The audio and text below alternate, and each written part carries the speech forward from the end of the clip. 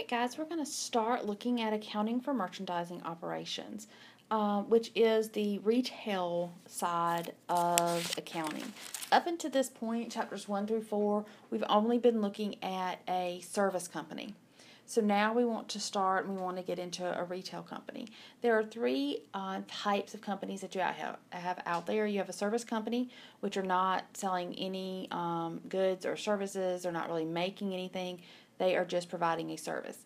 Then you have your retail companies or merchandising companies that are actually selling goods or services. So they are purchasing these goods from a wholesaler or from someone else, and then they're going to uh, resell them to the public. And then the last one that we're going to look at in Accounting 102 is the merchandise or the I'm sorry manufacturing company. These are the companies that are actually manufacturing um, what they are selling. So those are the three types. Um, we're going to concentrate in chapters five and six on the merchandising company. Um, some new accounts that we are going to look at for um, this particular chapter um, and the merchandising company, we will have uh, a new revenue account. Um, that would be the sales account. It also can be called sales revenue. Um, it can go either way, be called either one of these two accounts. Another one that we have um, is going to be termed as an expense account. Um, this is a cost of goods sold account. It's also um, called cost of goods merchandise, things like that. But cost of goods sold is really the one that we want to use um, mainly as far as our account is concerned. We also would have um, inventory. Inventory is a current asset, um, and this is where when we actually purchase items to be sold, uh, we put them in our inventory account. Other accounts would be the sales, return, and allowance account. This is if we have um, customer return goods to us, or if something's damaged and we give them an allowance, we would put it into this account.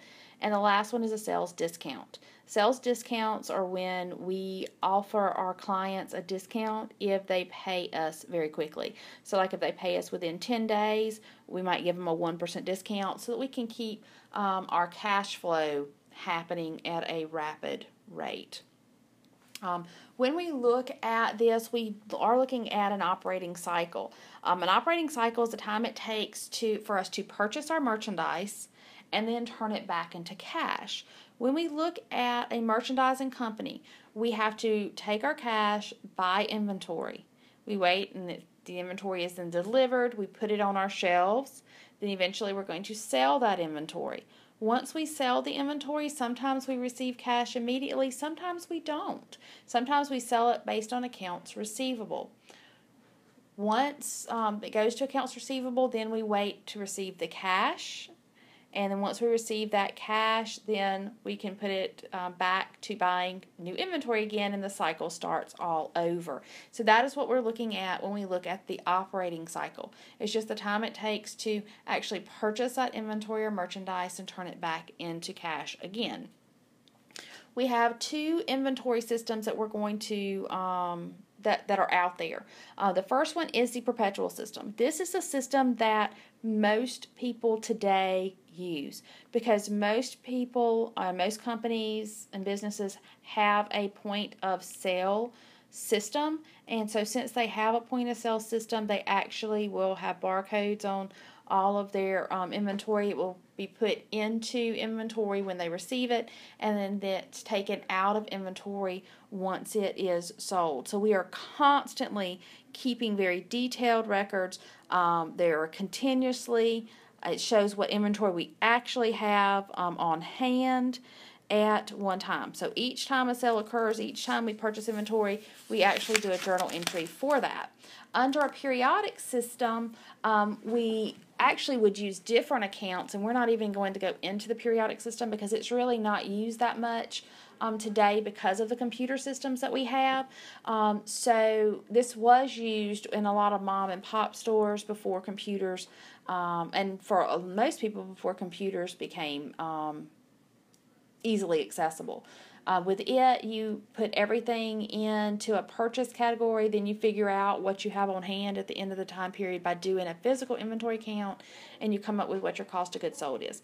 For both of these, you have to do a physical inventory uh, but for the periodic system, you have to do it to find out what your cost of goods sold is. For perpetual, you're just making sure that nobody has really stole anything um, and just make sure that nothing's gone bad and just really to keep up with those different items um, that way. So that's what we have um, with those types of systems we are going to come back and we will look at um, the perpetual inventory system. We're going to look at how we record purchases. We'll look at how we record sales, um, and we'll just work some worksheets um, using those pieces of information um, to help you better understand the information.